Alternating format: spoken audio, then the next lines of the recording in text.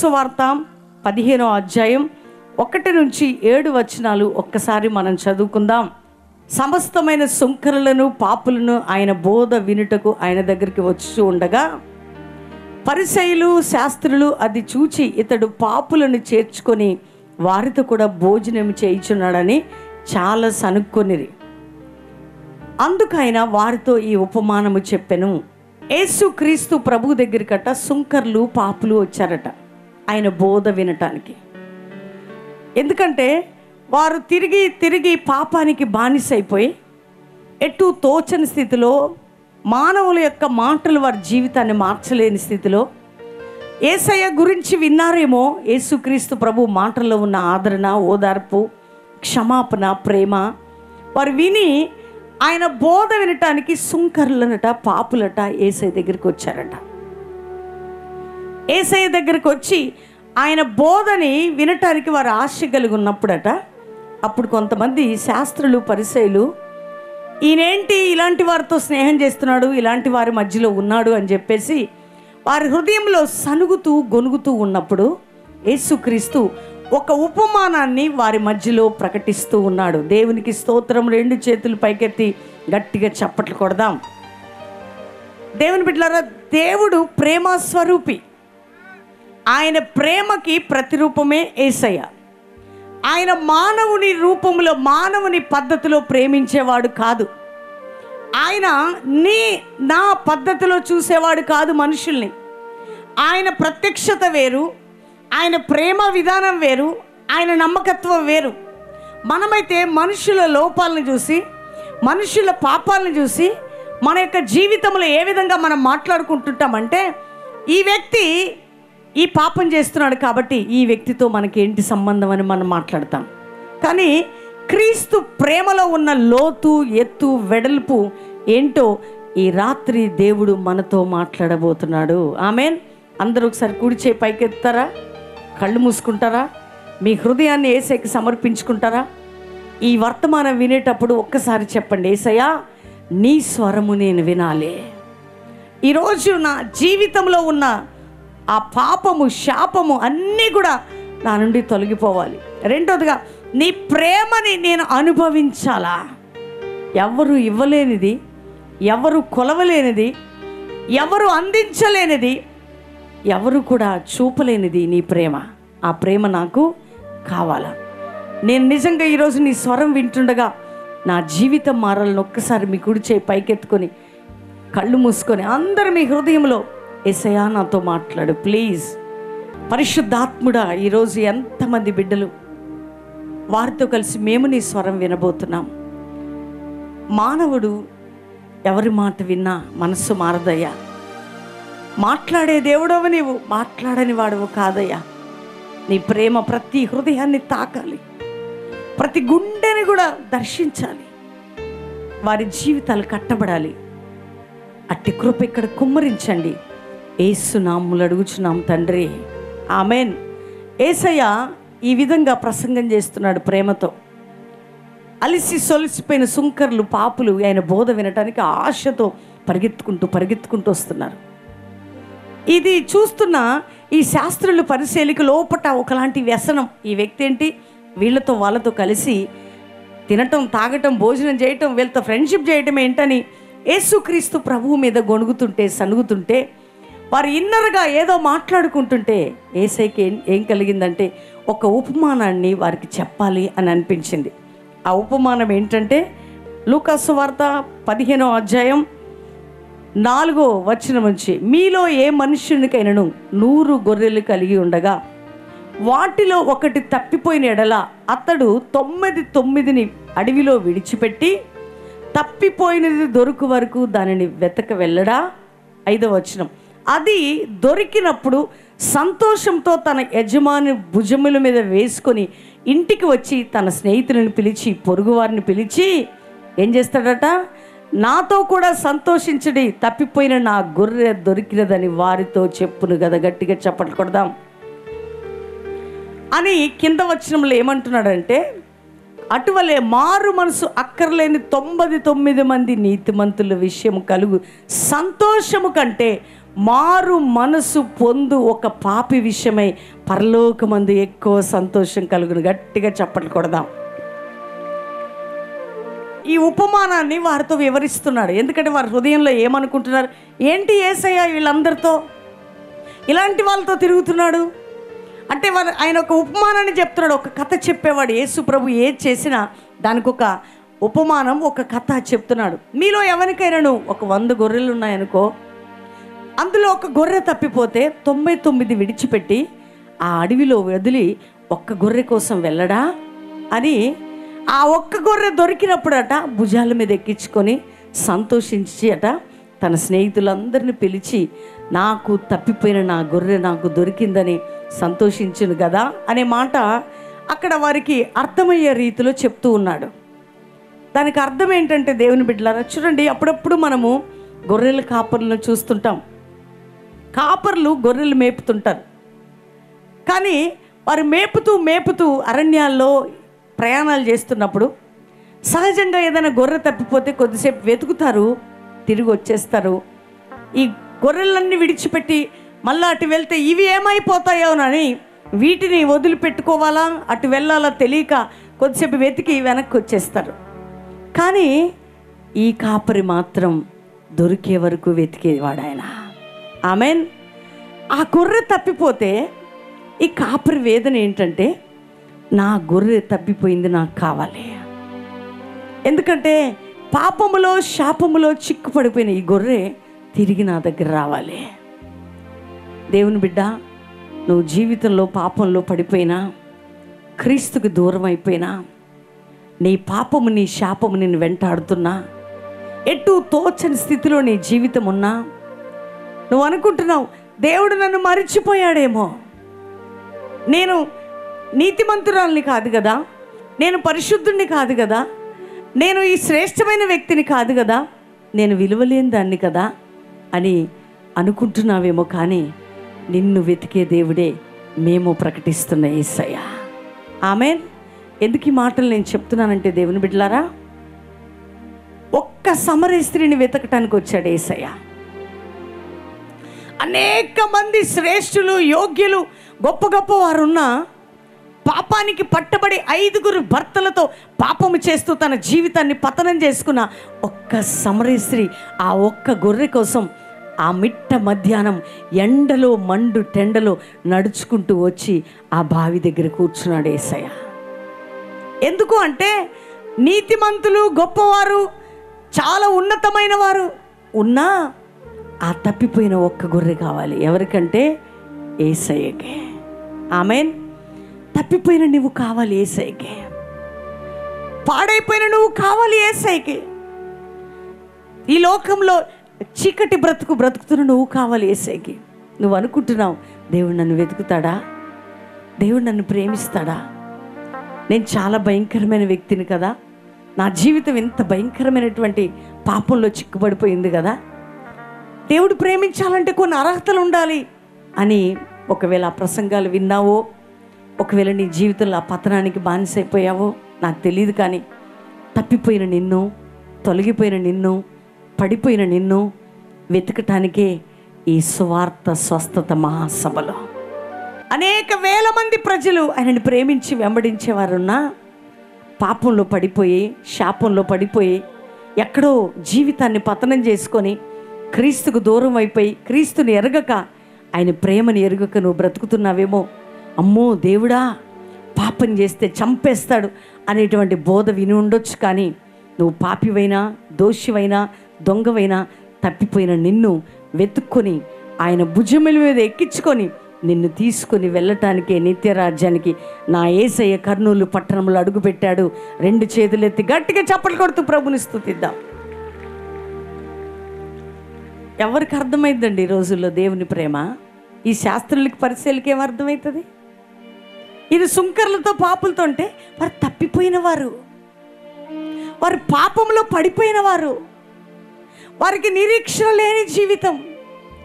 ఈ ఈ లోకంలో విలువ లేని బ్రతుకు. అలాంటి వారిని ప్రేమిస్తున్నాడు ఏసయ్య. అందుకే సమరయ స్త్రీని వెతుక్కుంటూ వచ్చాడు ఆయన. అయ్యో! సమరయ ప్రాంతంలో నా బిడ్డ తప్పిపోయింది పాపంలో పడిపోయింది. నా బిడ్డని నేను రక్షించుకోవాలా? తప్పిపోయిన నా గొర్రె పాపంలో పడి ఉన్న గొర్రెను బయటికి తీసుకురావాలి. ఈరోజు నా ప్రియ సహోదరి సహోదరుడా ఈ టీవీ ప్రోగ్రాం చూస్తున్నా ఇక్కడ కూర్చున్నా. నువ్వు ఏ స్థితిలో ఉన్నా ఏసు నిన్ను వెతుకుతున్నాడు. ఎందుకో తెలుసా? నువ్వంటే ఏసైకి చాలా ప్రేమ. నిన్ను చాలా ప్రేమిస్తున్నాడు. నీ భార్య నిన్ను ప్రేమించలేనంతగా నీ భర్త నిన్ను ప్రేమించలేనంతగా నీ ప్రియులు నిన్ను ప్రేమించలేనంతగా ఈ లోకంలో ఎవ్వరు నిన్ను ప్రేమించలేనంతగా యేసు నిన్ను ప్రేమిస్తున్నాడు. ఆ ప్రేమ అది ఉన్నతమైన ప్రేమ శ్రేష్టమైన ప్రేమ. పాపం చేస్తే నీ చావు నువ్వు చావు అని నిన్ను విడిచిపెట్టే ప్రేమ కాదు. తొంభై తొమ్మిది గొర్రెలను విడిచిపెట్టుకొని తప్పిపోయిన ఒకదాన్ని వెతకడాన్ని ఎందుకు అంటున్నాడంటే ఒకవేళ ఆ కాపరి అయినా కొద్దిసేపు వెతికి వెళ్ళిపోతాడేమో కానీ ఈ కాపరి మాత్రం నీకోసం వెతుకుతూనే ఉంటాడా? ఏ సభలో నువ్వు పట్టబడతావో? ఏ సభలో నువ్వు మార్చబడతావో? ఏ సభలో క్రీస్తుకు దగ్గర అవుతావో ఏ సభలో నీ జీవితం ప్రభుకి సమీపంగా వస్తుందోనని ఎందుకు దైవజనుల్ని ప్రవక్తులని అభిషక్తులని మీ పట్టణానికి ప్రభు పంపిస్తున్నాడంటే ఏసై నిన్ను వెతుకుతున్నాడా? నీతిమంతులు తొంభై తొమ్మిది మంది గురించి బాధ లేదు ఏసై నీ గురించి బాధపడుతున్నాడా? నీ పట్ల శ్రద్ధ కలిగి ఉన్నాడు సహోదరి సహోదరుడు. ఈ గ్రౌండ్లో నువ్వు కూర్చుని ఉన్నావేమో? ఈ టీవీ ప్రోగ్రాం చూస్తున్నావేమో?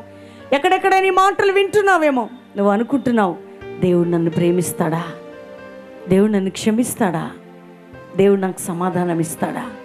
నేను ఇటువంటి వ్యక్తిని కదా. నిజంగా ఆయన ప్రేమ నేను అర్హుణ్ణేనా? అర్హురాలనేనా? కానీ నువ్వు అర్హుడివే. ఎందుకంటే నీ పాపం కోసం నా పాపం కోసం. రెండు వేల సంవత్సరాల క్రితమే ఆయన శిలువ బలియాగము ద్వారా తన రక్తాన్ని ప్రాణాన్ని త్యాగం చేసి తన స్వరక్తమిచ్చి నిన్ను కొనుక్కున్నాడు. నువ్వు ఆయన సాంపద్యం ఆయన సమస్తము నువ్వు. ఎవరు నీకు చెప్పారు నువ్వు పాపివని? ఎవరు నీతో చెప్పి నిన్ను దోషివని నిలబెట్టారు? ఎవరు నిన్ను తృణీకరించారు?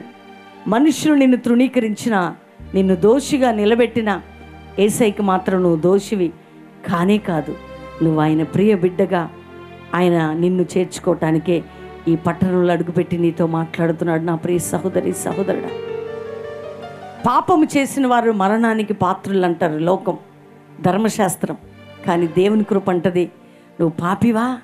ఈరోజు నేను నేను ఎప్పుడో క్షమించాను. నీవు కానీ నాకు చోటిస్తే చాలు. చూడండి ఆ గొర్రెని వెతుక్కుంటూ ఎందుకు వెళ్ళాడంట? ఆ గొర్రె కనపడి జస్ట్ ఆయన భుజం మీద ఎక్కితే చాలట. ఏం చేయనక్కర్లా. ఒకవేళ ఆ గొర్రె కానీ నేను రానని రిజెక్ట్ చేసి ఎటన్నా పారిపోతే కష్టం కానీ ఆ గొర్రె జస్ట్ ఆ భుజం మీద ఎక్కిందంట అంతే. ఒక్క ఛాన్స్ నువ్వు ఇస్తే చిన్న ఛాన్స్. సింపుల్గా జస్ట్ నా హృదయంలోకి రా అంటే చాలు ఏసయ్య. ఆయన నీ హృదయంలోకి వచ్చి నిన్ను ఆయన పైకెత్తబోతున్నాడు సహోదరి. చూడండి ఆ గొర్రె జస్ట్ ఇట్లా కింద కూర్చొని ఆ గొర్రెని ఎక్కించుకున్నాడండి భుజం మీద. అయ్యో నా గొర్రె నాకు దొరికింది. తప్పిపోయినా తొలగిపోయినా పాపంలో పడిపోయినా నువ్వు కానీ యేసు ఈరోజు నిన్ను నా జీవితాన్ని నీకు ఇస్తానయ్యాని ఒక్క ఛాన్స్గా నువ్వు ఇస్తే చాలు. ఈరోజు నిన్ను ఆయన గుండెల మీద పెట్టుకోబోతున్నాడు ఏసయ్య. ఎందుకంటే ఆ గొర్రె కానీ ఆయనను చూసి పారిపోలే ఉరకలే. తప్పిపోయిన గొర్రె ఏం చేసిందట? ఆయన భుజం మీద ఎక్కిందట అంతే. జస్ట్ ఆయన దగ్గరికి వచ్చేసింది. ఇమ్మీడియట్గా ఆ గొర్రెని ఎక్కించుకొని కాపరట ఏదైనా గొర్రె తప్పిపోతే నాలుగు కొడతారట కాపర్లు. లోపటేస్తారట. కానీ ఈ కాపరి మాత్రం ఎక్కించుకొని ఎంత సంతోషమో ఎంత ఆనందమో పరిగెత్తుకుంటూ వచ్చి స్నేహితుని పిలిచి సంతోషంగా పార్టీ చేసుకుంటూ అంటాడట తప్పిపోయిన నా గొర్రె నాకు దొరికింది. ఈరోజు కానీ నీ హృదయంలో ఏసైకి చోటిస్తే ఒక్క ఛాన్స్ నీ హృదయంలో ఏసుని పిలిస్తే నీ జీవితంలో కూడా ఏసయ్య వచ్చి నీ చరిత్రని మార్చబోతున్నాడా? అందరు మీ కుడి చేయి పైకెత్తి.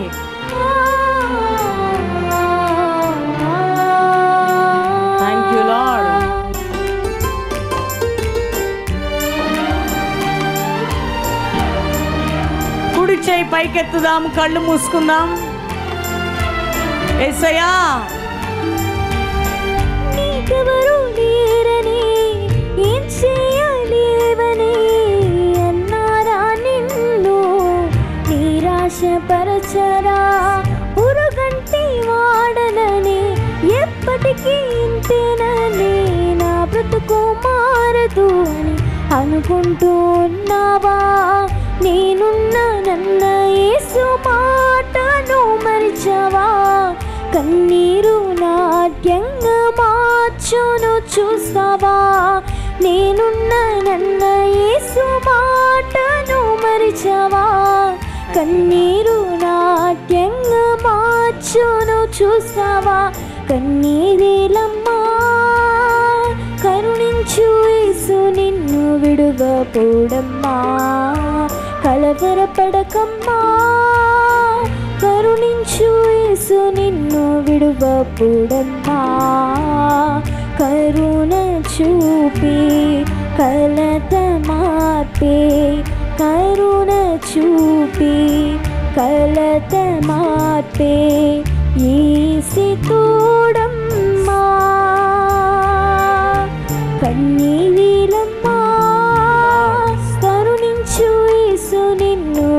విడువబోడమ్మా కలవరపడకమ్మా కరుణించు యేసు నిన్ను విడువబోడమ్మా ఆ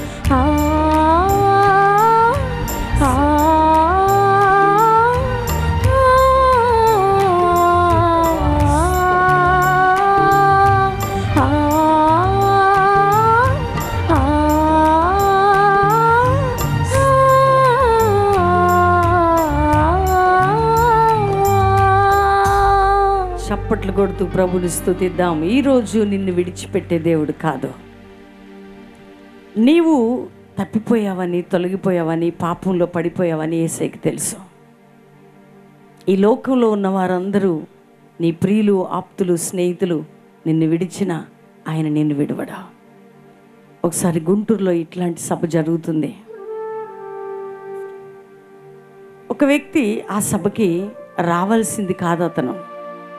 స్నేహితుని బలవంతం వలన ఆ రోడ్డు మీద వెళ్తూ వచ్చాడు. దైవజనుడు ప్రసంగం చేస్తున్నాడు ఆరాధనలో. ఆ వ్యక్తిని పరిశుద్ధాత్మదేవుడు దైవజనుల నుండి పేరు పెట్టి పిలుస్తున్నాడు. సహోదరుడా నీ పేరు ఇది నువ్వు భయంకరమైన అంతకుడివి హంతకుడివి హత్య చేశావు. ఈ లోకంలో ఉన్న వారందరూ నిన్ను వదిలిపెట్టారు. నీ భార్య కూడా నిన్ను విడిచిపెట్టి వెళ్ళిపోయింది. నువ్వు భయంకరమైన హంతకుడివి. అయితే ఎవరు నిన్ను ప్రేమించకపోయినా ఏసు నిన్ను ప్రేమిస్తున్నాడు?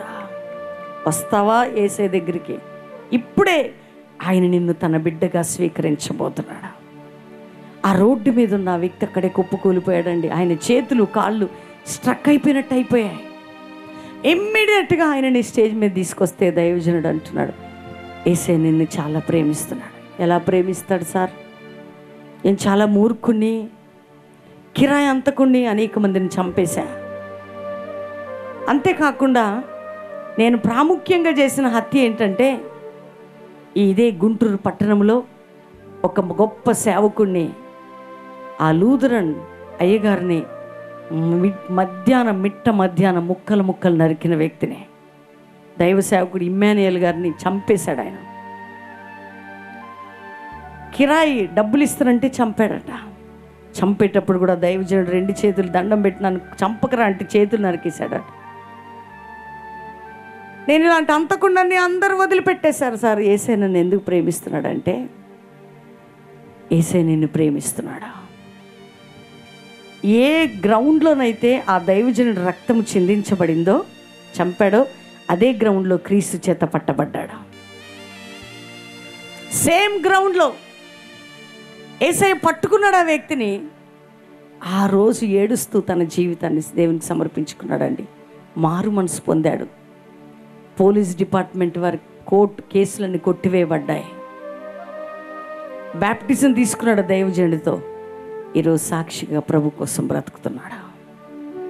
అంటే దేవుడు ఎంత ప్రేమ కలిగిన వాడు. నిన్ను ప్రేమిస్తున్నాడు అట్లా. ఈరోజు ఆ పేరు పెట్టి పిలువబడిన వ్యక్తిలో ఒకవేళ నువ్వు అనుకుంటున్నావు నేను కూడా భయంకరమైన వ్యక్తిని నన్ను ప్రేమించేవారి భూమి మీద ఎవరైనా ఉన్నారా? లేరు కానీ పరలోకం నుండి కొరకు వచ్చిన ప్రభువే ఈరోజు నిన్ను ప్రేమిస్తున్నాడు. తల్లి నిన్ను ప్రేమిస్తున్నాడు. సహోదరి నిన్ను ప్రేమిస్తున్నాడు. అందుకని ఆ ఉపమానం చెప్తూ రెండో ఉపమానం చెప్పాడు ఏసయ్య. తప్పిపోయిన కుమారుడు గురించి ఒక ఉపమానం చెప్తూ ఉన్నాడండి. తప్పిపోయిన కుమారుడు తండ్రికి ఇద్దరు కొడుకులు ఉన్నారు. ఐ పదకొండవ వచ్చిన నుంచి ఆ ఇద్దరు కుమారుల్లో పెద్దవాడు నమ్మకంగా ఉన్నాడు చిన్నవాడు ఆస్తిని కావాలని తీసుకొని వెళ్ళిపోతాడు. దూరదేశంలోకి వెళ్ళిపోయిన తర్వాత అన్నీ పోగొట్టుకుంటాడు. తన వ్యసనానికి బానిసే సమ సమస్తం పోగొట్టుకొని అక్కడ పదహారు పదిహేడు వచనాలు నేను చదవటానికి టైం లేదు కానీ ఆఖరికి అన్నీ పోయాక పందులు పొట్టు తిని ఎక్కడో పని చేసడానికి పందులు పొట్టైనా తిందామని చెప్పేసి చూసుకుంటే తండ్రిని విడిచి ఆస్తిని విడిచి అంతస్తు విడిచి అన్ని వదులుకొని వెళ్ళిపోతాడు అన్ని తీసుకొని. అంత వ్యసనాలతో అన్ని కోల్పోతాడు డబ్బు ఆస్తి అంతస్తు. తిరిగి ఆకలిస్తుంది అన్నం పెట్టేవారు లేరు ప్రేమించేవారు లేరు. డబ్బున్నప్పుడు స్నేహితులు ఉన్నారు అన్ని జలసాలు అన్నీ అయిపోయాయి. ఇప్పుడు చేతులు అన్నీ అయిపోతున్నాయి. ఎవరు అందరూ అన్నీ ఉంటేనే అందరు ఏం లేకపోతే ఎవరు ఉండరు. తాగాడు తిన్నాడు ఆడాడు పాడాడు అన్నీ అయిపోయాయి. చివరికి తన జీవితంలో మిగిలింది ఏంటంటే తిండి లేని స్థితి. ఆకలి అవుతుంది. ఎక్కడైనా పని దొరుకుతుందంటే పందులు మేపి పని పందులకి పొట్టు. ఆ పందులు ఆయన దగ్గరికి వెళ్ళి అడిగాడు రాజకుమారుల్లాగా బ్రతికినవాడు ఆ పందులు వేసే వ్యక్తి పందులు మేప పని పెట్టాడండి. ఆకలి అవుతుంది పాపం. పందులు పొట్టైనా తిందామని ట్రై చేస్తే అది కూడా లేదట. అప్పుడు పదహారు పదిహేడు వచనాల్లో ఉంటుందండి. బుద్ధి వచ్చట ఆకలికి చచ్చిపోతానేమో. ఆకలి అవుతుంది కదా. ఈ ఆకలికి నేను చచ్చిపోతానేమో అని చక్కగా రాయబడి ఉంటుంది. మీరు పదహారు పదిహేడు వచనాలు ఒకసారి వేస్తారా? వాడు పందులు తిని పొట్టుతో తన కడుపు నింపుకునని ఆశపడను కానీ ఎవడనూ వానికి ఏమీ ఇయ్యలేదు. పదిహేడు వచ్చిన అయితే బుద్ధి వచ్చినప్పుడు వాడు తన తండ్రి యొద్ద ఎంతోమంది కూలి వండ్రకు అన్నము సమృద్ధిగా ఉన్నది. నేనైతే అక్కడికి ఆకలికి చచ్చిపోవచ్చున్నానని చెప్పట. లేచి నా తండ్రి వద్దకు వెళ్ళి నా తండ్రి నేను పరలోకమునకు విరోధంగాను నీ ఎదుట పాపం చేసి తిని కూలివానిగైనా నీ ఇంట పని చేస్తానని ఒప్పుకుంటామని బయలుదేరుతున్నాడండి. సమృద్ధి అన్నం ఉన్నదట తన తండ్రి ఇంట. కూలి వాళ్ళందరూ తృప్తి తింటున్నారట. కొడుగ్గా వెళ్ళాలనుకోలే. కూలివానిగా వెళ్ళాలనుకున్నాడు ఆ కొడుకు. కొడుగ్గా వెళ్ళే అర్హత నాకు లేదు. ఎందుకంటే నేను పాపం చేసేసి అన్ని ఇది చేసుకొని వచ్చా. కానీ ఆకలేసి అన్నము ఆకలేసినప్పుడు బుద్ధి వచ్చిందట. అంటే కొన్నిసార్లు మన జీవితంలో వ్యతిరేకతలు నిందలు అవమానాలు పోరాటాలు వచ్చినప్పుడు ఎవరు గుర్తుకొస్తారంటే ఏసయ్య గుర్తుకొస్తాడు. కొందరు దేవుని దగ్గరికి రోగాలను బట్టి వస్తారండి. కొందరు వ్యాధులను బట్టి వస్తారు. కొంతమంది అంటారు స్వస్థతల కొరకేనండి వాళ్ళ దగ్గరికి వెళ్ళేది. నీకెందుకు నానా? వాళ్ళు రోగాన్ని బట్టి వస్తారు వ్యాధిని బట్టి వస్తారు పాపం బట్టి వస్తారు. వారి జీవితంలో ఏ బంధకాలను బట్టి వచ్చినా ఏసు మాత్రం ఎవరిని రిజెక్ట్ తృణీకరించనే తృణీకరించడు ఆయన. స్వస్థతల కొరకు వెళ్తారండి వాళ్ళు. నీకెందుకు నాన్న వాళ్ళు స్వస్థతల కొరకు వెళ్ళేది అయ్యో వారి బాధలను బట్టి వెళ్ళాలా? దేవుడు కావాలా ప్రజలకి? సరే వాళ్ళు స్వార్థంగా స్వస్థత కొరకు వెళ్ళినా స్వార్థంగా అప్పులు పోవటానికి వెళ్ళినా స్వార్థంగా నిందలను బట్టి వెళ్ళినా దేవుడు మాత్రం నిస్వార్థంగా ప్రేమిస్తాడు ప్రతి ఒక్కరిని. ఆయన స్వభావానికి విరుద్ధంగా ఎన్నడూ ఆయన చేయడు. నువ్వు అంటావేమో స్వస్థత కొరకు వచ్చావు వెళ్తున్నారని. వాక్యం కొరకు కాదండి అక్కడ స్వస్థత కొరకు రొట్టెల కొరకు వచ్చారండి ఏసే దగ్గరికి.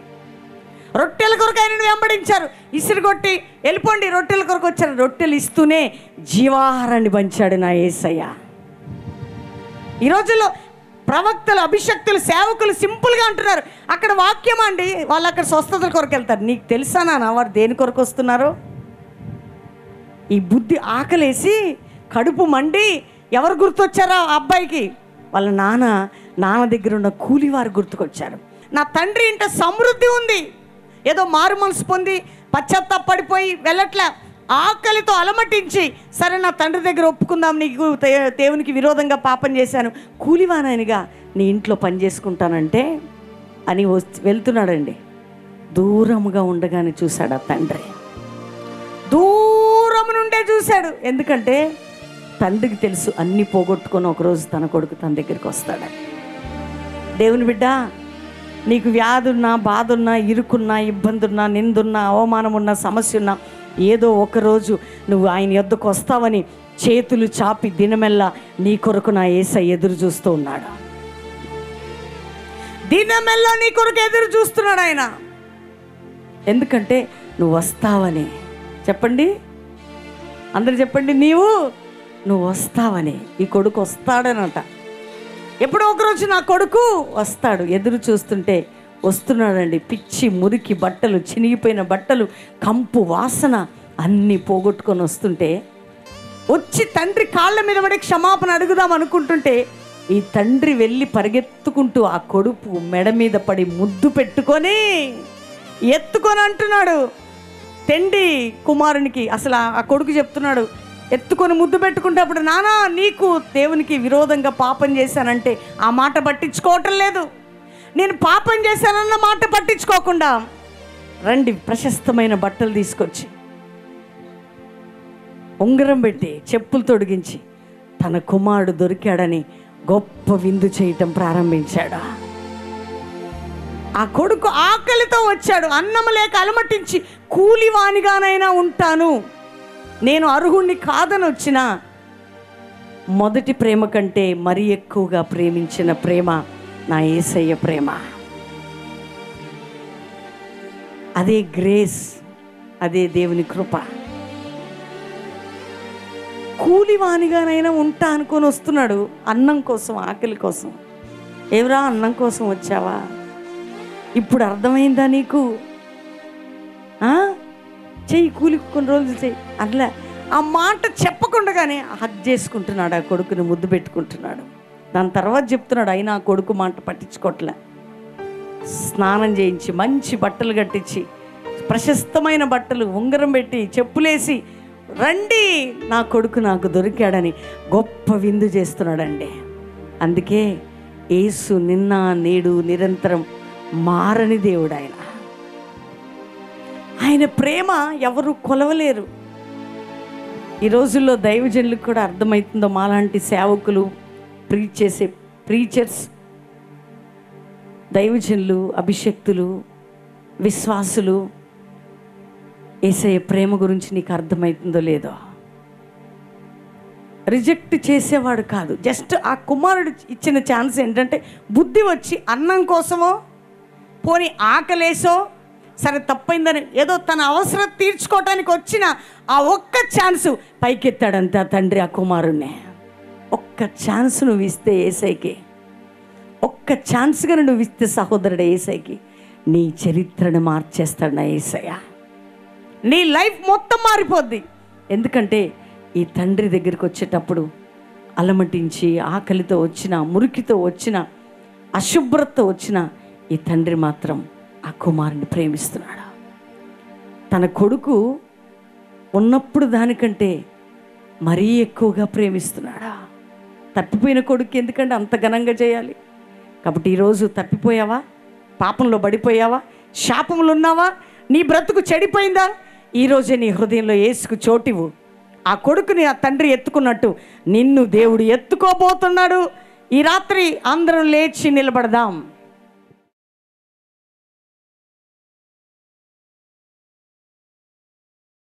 తండ్రి వర్తమానం ఎంతమంది విన్నారు వారి జీవితాల్లోనూ ఉండి వారిని పైకెత్తి ఆశీర్వదించమని ఏసునామములు అడుగుచున్నాము తండ్రి. ఆమె నిజంగా ప్రవీణ్ బ్రదరు సారసిస్టర్ గారు కర్నూలుపట్నంలో ఎంతో గొప్ప పరిచయం చేస్తుంటున్నారు చేస్తున్నారు.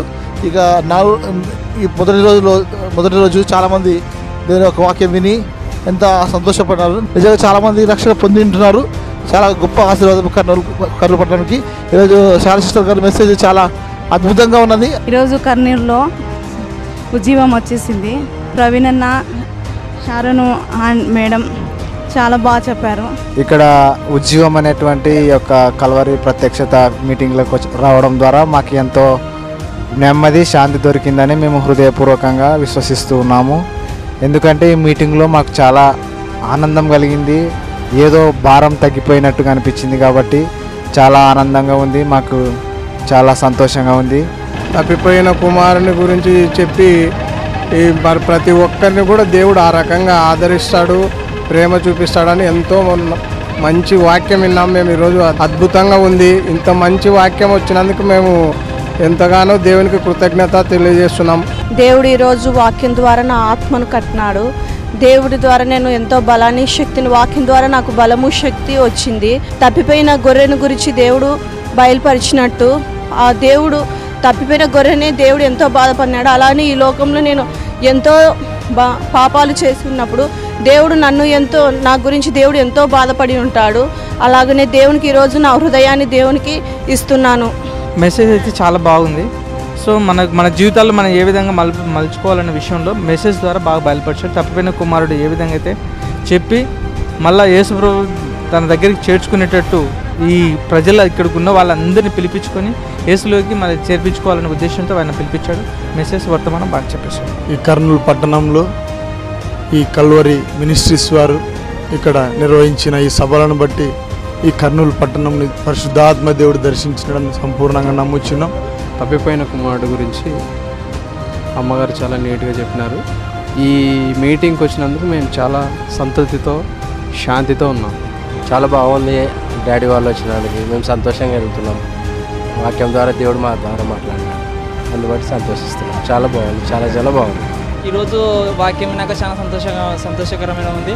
తప్పిన కుమార్ అమ్మగారు చెప్పిన వాక్యము మా జీవితంలో అలాంటి చేయకుండా దేవుని పట్ల మనం శ్రద్ధతో మంచిగా కలిగి దేవుని పట్ల మంచిగా వాక్యాన్ని మా కూడా మా హృదయాలు బాగా చేసుకోవాలని ఈ వాక్యము చాలా మందికి యువకులు కూడా చాలా మంచిగా అర్థమయ్యేటట్లు ఉంది. ఈ వాక్యం బట్టి నేను కూడా మంచిగా ఉండాలని కోరుకుంటున్నాను. ఈరోజు ప్రతి ఒక్కరిని ఏసయ ప్రేమిస్తాడన్న విషయం అద్భుతంగా మమ్మీ గారు తెలియపరిచారు.